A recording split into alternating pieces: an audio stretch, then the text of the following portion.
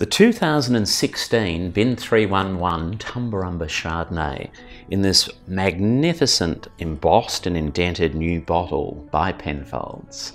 There's nothing new though about the style of 311. It still comes from the very high country in the snowy mountains. It's still matured in magnificent French oak barriques, none of which are new.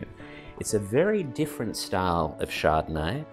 It's about crispness, definition, linearity, wonderful style, a style that will cellar, but not much of it is kept for very long. The Bin 311 Tumbarumba Chardonnay, please try, please sample, I'm sure you'll enjoy.